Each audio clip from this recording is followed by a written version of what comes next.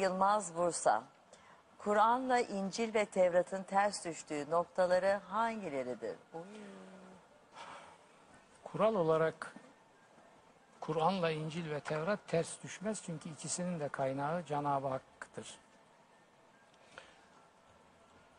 Tevrat ve İncil'e hahamların ve papazların soktukları şeyler yüzünden Kur'an-ı Kerim'in bu kitaplara ilişkin eleştirileri var. Şimdi bakın bugün İncil diyoruz. Daha genişletelim. Kitab-ı Mukaddes. Değil mi?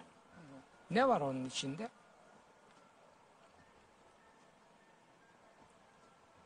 Tevrat var. Ahde Atik dediğimiz eski ahit. İncil var.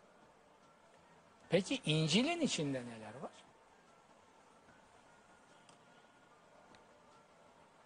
Havarilerin rivayet ettikleri İncil'ler artı Sempol'ün mektupları. Bakın şimdi.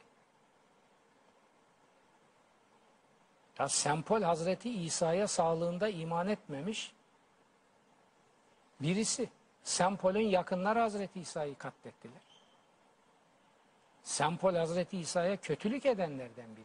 Sonra ben bir vizyon gördüm. İsa bana göründü. Bilmem ne nasıl bir şeyse. Şeyin kerameti kendinden menkul.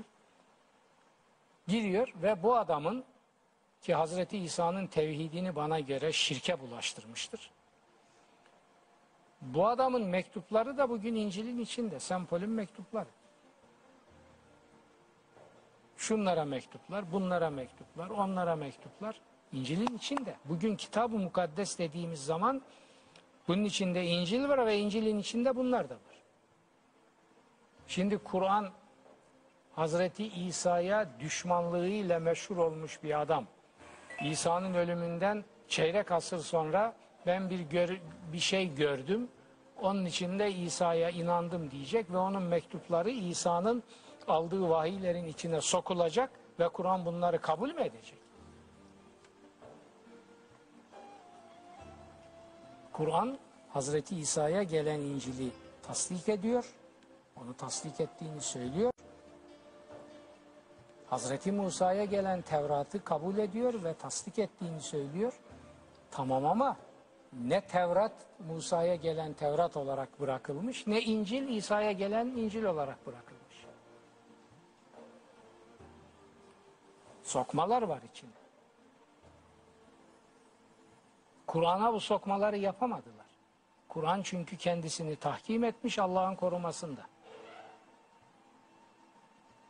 Oraya girmiyoruz ve bu korumayı matematiksel kod sistemleriyle de sağlamış.